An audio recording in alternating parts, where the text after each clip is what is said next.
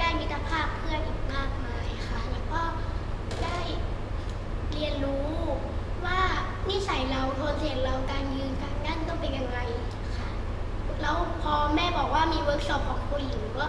อยากอันนี้มากเลย อยากมามากเลยค่ะ แล้ววันแรกหนูเกือบไม่มา แต่หนูอ้อนวอนขอแม่ แล้วก็มาได้ค่ะ แล้วหนูก็อยากให้ครูหญิงเปิดคอร์สเวิร์กช็อปอีกเยอะๆนะคะ